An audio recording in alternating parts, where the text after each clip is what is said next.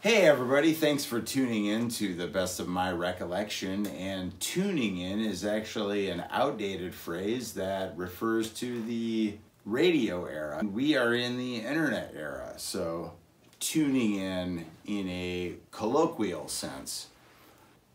Tonight's story is about the time that I had a 10 minute conversation with Game of Thrones star Jason Momoa this all starts in 2014 when I took up the obscure hobby of building bows out of skateboards. Right here's an example of a really successful one that I built. Laminated with fiberglass, as you can tell. It pulls about, I don't know, like 40 pounds or whatever. Ugh. I found out about a skateboard deck art competition the problem with my entry is that nobody realized my piece was even a part of the contest. Obviously, I would have won first place had they realized I built a bow out of a skateboard. But I'll tell you one person who did notice oh,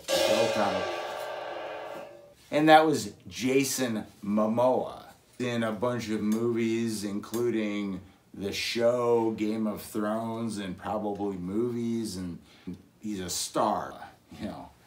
He's one of those guys you're familiar with his body, but you're not necessarily familiar with his body of work.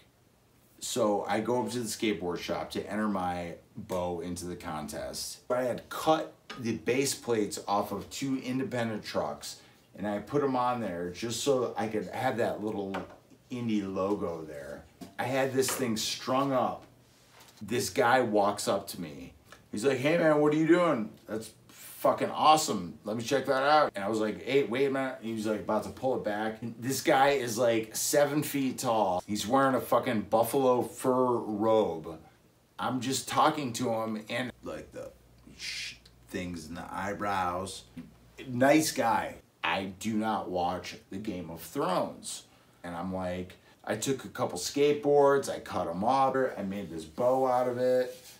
Whoa, dude, that thing is so sweet, man. It's like a bow and a skateboard. You know, I used to skateboard, like, and this thing, it's like a bow. Do not pull it back. Don't, it's like, oh man, that is so awesome, man. I used to skateboard all the time when I was a teenager, man. I love skateboarding, bro.